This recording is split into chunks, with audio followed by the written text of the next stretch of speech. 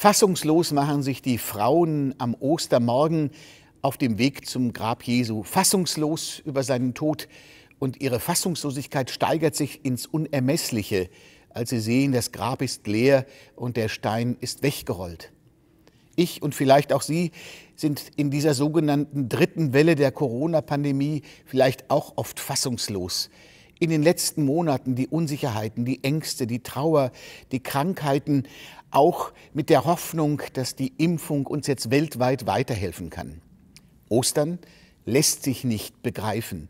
Die Fassungslosigkeiten können wir oft nicht erfassen, wir können sie nur tragen und miteinander ertragen.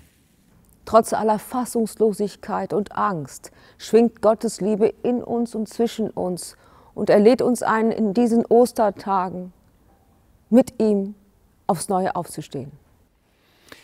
Am Grab sind die beiden Engel, Sie weisen die beiden Frauen darauf hin, sucht Jesus nicht bei den Toten, er lebt. Und die beiden Engel schicken die Frauen zurück in ihren Alltag, ins Leben hinein. Wo muss ich dort aufstehen für das Leben, in all meinen Fragen, meinen Ängsten, meinen Sehnsüchten und meinen Träumen? Das ist die Zuversicht, die uns das Osterfest geben kann und wozu uns Ostern anstoßen kann. Lassen wir uns auf ihn ein, dass er mit uns und für uns lebt?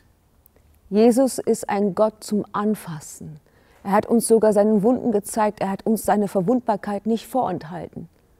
Denn er möchte uns die Größe des, des Osterwunders nicht nur zeigen, er will es erfassbar machen. Denn Gottes Liebe lebt und das Leben siegt.